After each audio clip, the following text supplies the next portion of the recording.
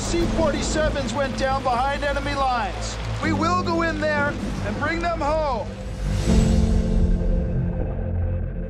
Hit rewind, click delete. More than welcome to read my Bible. Might make you feel better. Stand face to face with the younger me. You wouldn't be preparing my men for death now, would you, soldier? No, Sarge. Absolutely not. You know, I have no idea how my dad died. Who's Eddie Adams? No idea. Why didn't you try to contact him? Maybe he can fill in some blanks. I'm Wayne, Eddie Adams' son. It takes a soldier who knows it So why are you guys going to DC? to walk the walk I'm supposed We're driving to DC to see our father's name on the Vietnam Wall.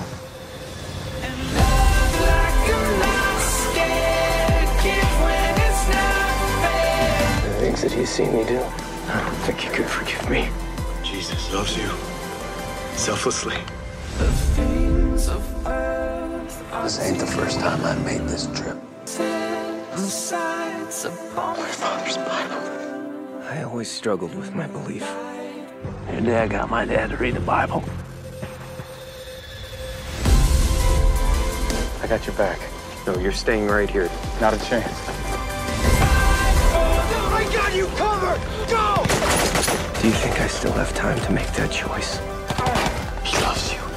As you love Wayne. And he'd die for you, just like you would die for Wayne.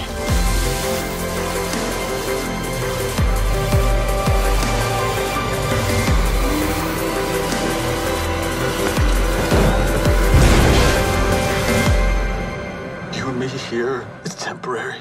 But paradise with him is eternity.